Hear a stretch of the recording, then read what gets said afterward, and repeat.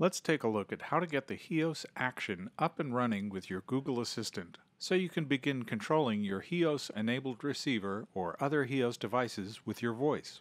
To get started, let's open the HEOS application. If you don't have a HEOS account yet, this is a great time to create one. Otherwise, click on the Rooms icon in the lower left-hand corner of the screen. This will show you all the devices that are open on your network. Click on the pencil icon in the upper right-hand corner.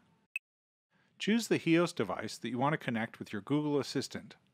Now, you'll see lots of room names, and you can really name it anything you like as long as it's unique. You could call it Charlie's Room or Robbie's AVR, but in this case I think I'll just call it Living Room.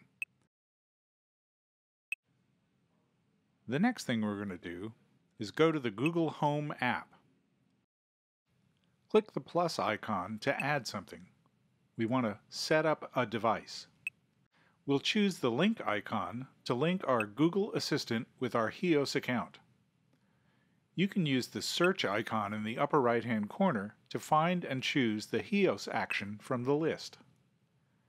This will take you to a login screen where you can enter your HEOS account details you are authorizing the Google Assistant to control your HEOS account. Once that's complete, I'm going to choose Living Room, that's my AVR, and I'm going to tell Google where that lives in my house. Not surprisingly, that's in my living room. Okay, so now I've linked my Google Home Assistant with my HEOS account. I have taken my AVR X2400H and renamed it as Living Room and now I'm able to start a playlist on Pandora or Spotify as I normally would in my app. I can do all that and control it by voice as I listen through the day. I can control mute, unmute, play, pause, continue, next, previous track, etc. Okay, Google, continue in the living room.